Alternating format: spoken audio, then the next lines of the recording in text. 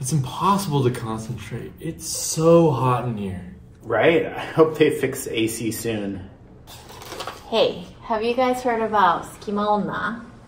Schema what? Wait, isn't that some kind of Japanese ghost story? Yeah. Sukima Onna literally means gap woman. It's a scary story about a spirit who lives in the gaps between things.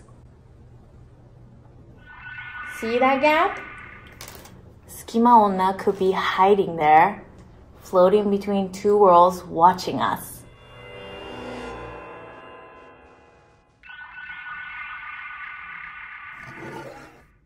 Oh my gosh.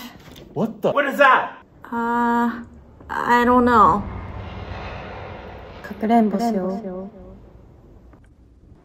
We should go.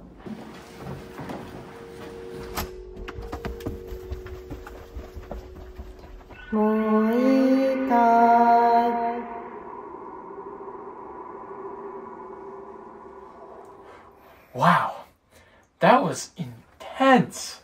Um, what's going on? Well, in Japan, scary stories are often told in the summertime. These stories give you chills that make you forget about the heat.